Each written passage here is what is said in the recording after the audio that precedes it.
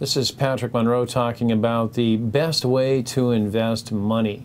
Basically, the best way to invest money is to make sure that the investment has the following components that you're investing money in an asset that is appreciating.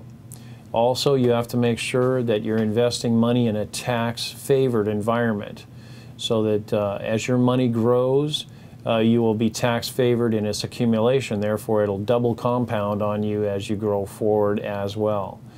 Uh, many times, the best way to invest is to be completely risk averse. I know that many people believe that uh, uh, risk is a reward. The higher the risk, the greater the reward.